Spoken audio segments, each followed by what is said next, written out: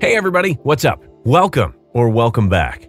Can you buy an asset right now that could be worth 20 times as much in 5 to 10 years? I am sure that that answer is yes. But where do you look for such a sure thing? The problem with that statement is that this is not a risk-free venture. You could buy $100,000 worth of Bitcoin and other cryptocurrencies today, and then most governments ban all cryptocurrencies tomorrow. This is the main risk that we are taking today with cryptocurrencies. But cryptocurrencies and the blockchain are not technologies to sneeze at. This will change our world for the better. I know that in the past, many businesses and governments said that Bitcoin is only used for illicit activities. Question Do you know what the number one currency used for most worldwide illegal activities is now and has been for a very, very long time? That would be the US dollar.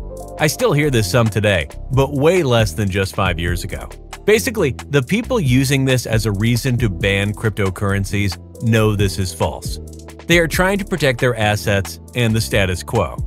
People who don't care about societal laws, rules, and norms will use whatever currency that is available.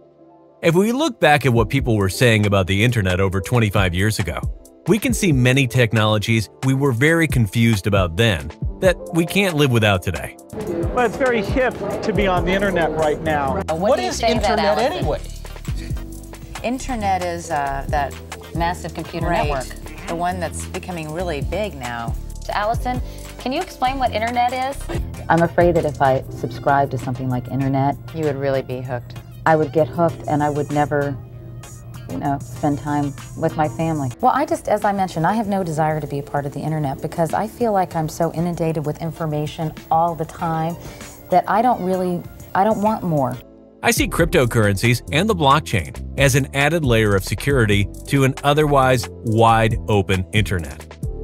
Per Wikipedia, a cryptocurrency is a digital asset designed to work as a medium of exchange wherein individual coin ownership records are stored in a ledger existing in a form of computerized database using strong cryptography to secure transaction records, to control the creation of additional coins, and to verify the transfer of coin ownership. But what exactly is the future of cryptocurrency? Well, let's find out together today in this video. Let me start by saying I believe Bitcoin and Ethereum are here to stay, but for very different reasons. I think that Bitcoin will be the gold in the digital space. Ethereum is being used so much in so many blockchain areas that I believe if cryptocurrencies are banned as a currency, Ethereum will still exist and have value. I have purchased my fair share of cryptocurrencies, and let me say, more have been failures than successes. But I will also say that my successes more than covered my losses in the crypto space. I learned this the hard way, but just like with stocks, invest long term and invest in promising companies or technologies. NFTs are the big technologies built on top of Ethereum right now. NFTs are non fungible tokens.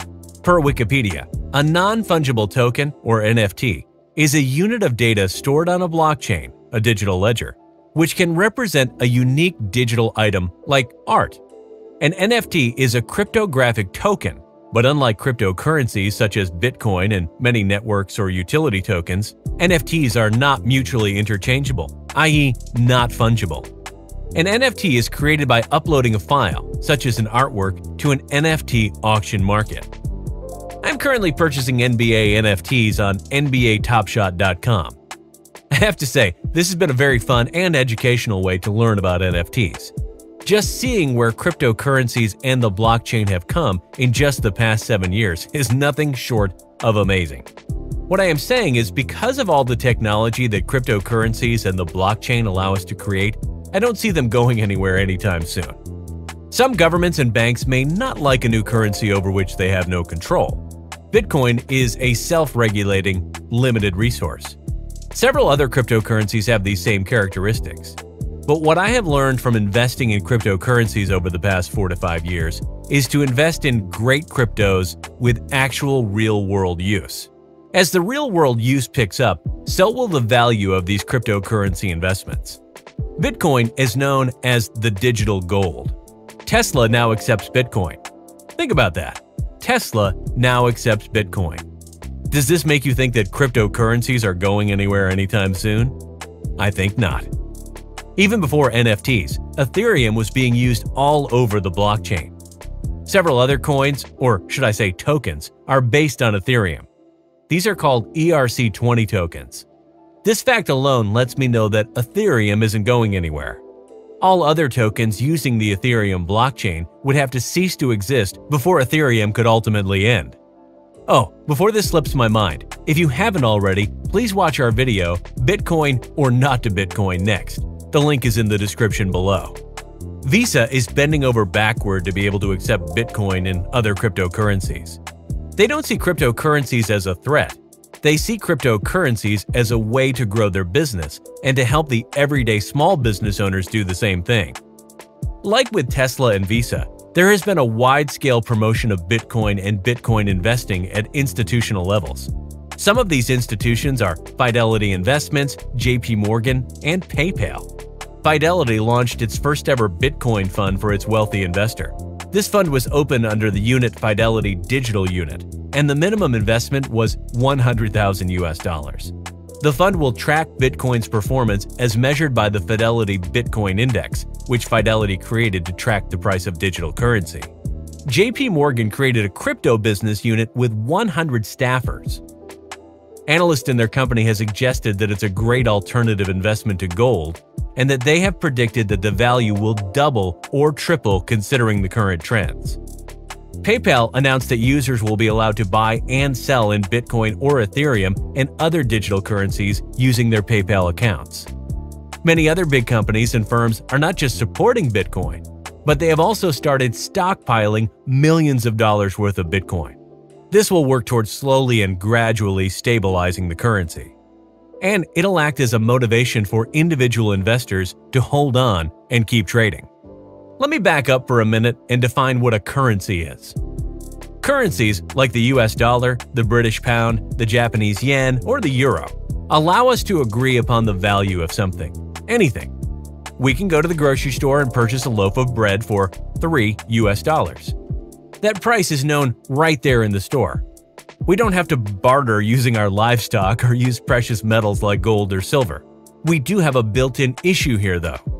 I only gave you four examples of world currencies, and the exchange rate between all the world's currencies changes every second of every day. We say we live in a global society, and we do. Doesn't a global digital currency make sense? One where a bank can't hold up transferring funds for days, most cryptocurrency transactions are settled in minutes. Yes, if I send you one Bitcoin, one Litecoin, one Ethereum, or most other cryptocurrencies, this will take only minutes before the funds leave my crypto wallet and show up in your crypto wallet. This doesn't matter if one person is currently in the UK and the other person is in the US, Russia, China, and so on. Sometimes the fees can be a bit much.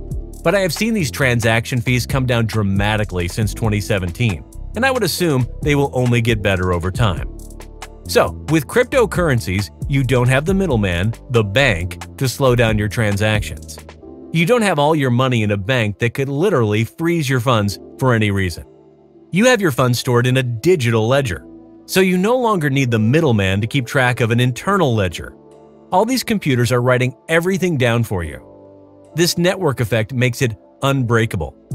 Technology makes us richer and wealthier because we need less time, less money, and less effort to get things done. Bitcoin and several other cryptocurrencies are very volatile at this moment. This is not a plus, but a drawback. But, as discussed earlier, with several big companies purchasing Bitcoin and holding onto it, this should only help slow down Bitcoin's volatility. Another drawback is that cryptocurrency wallets are vulnerable to hackers. This is to be expected for anything connected to the internet. I would assume that as more money flows into the world of cryptocurrency, the security will continue to increase. But remember, the blockchain is very secure. The holes come into play with the wallets, and not the blockchain itself. In a world where this technology is fully adopted, it won't matter what country you live in.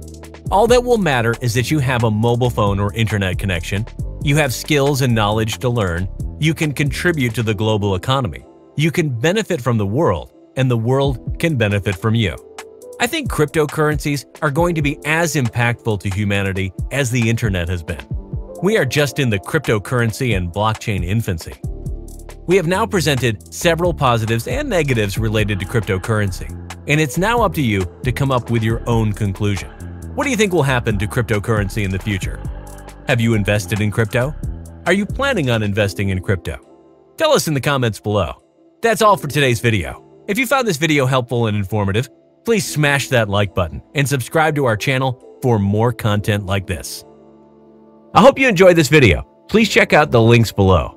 Don't forget to like, subscribe, and press the notification bell as it will help out this channel a lot. Check out one or both of the videos listed here on this page. And as always, learn more, hustle on, and power through. Thank you, and see you all in just a few minutes.